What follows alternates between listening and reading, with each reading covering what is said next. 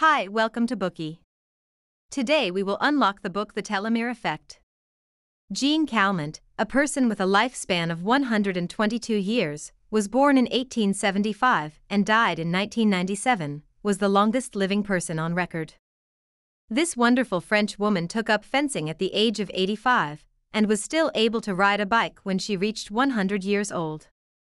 She walked around her hometown, Arles, in the south of France, to thank the people who had sent her birthday wishes on her 100th birthday. On the other hand, in contrast to Calment, there are people in their middle age who suffer from chronic diseases, have weak immune systems, low energy levels, looking weary, and 10 years older than their peers. Why do people age at different rates? Why do some people stay energetic into old age, while others who are much younger are sick, have foggy brain, and suffer from ongoing fatigue and tiredness. What is the secret behind aging? The telomere effect explores aging down to the cellular level and reveals the secret of how the environment and mental status affects the speed of aging in humans. The book then provides suggestions on diet, sleep, sports, followed with tips on how to change our way of thinking to help us slow down aging and be more energetic. This book was written by two authors, Elizabeth Blackburn and Elissa Epel.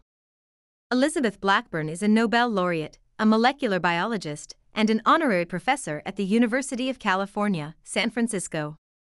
In 2009, she was jointly awarded the Nobel Prize in Physiology or Medicine with two other scientists for co discovering how chromosomes are protected by telomerase, the enzyme that replenishes the telomere.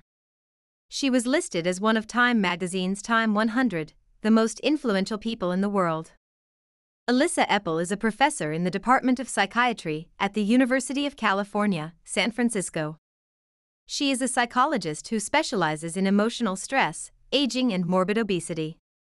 Next, we are going to summarize the key content of this book through the following three parts. Part 1 Telomere and its functions. Part 2 The effects of the living environment on telomeres.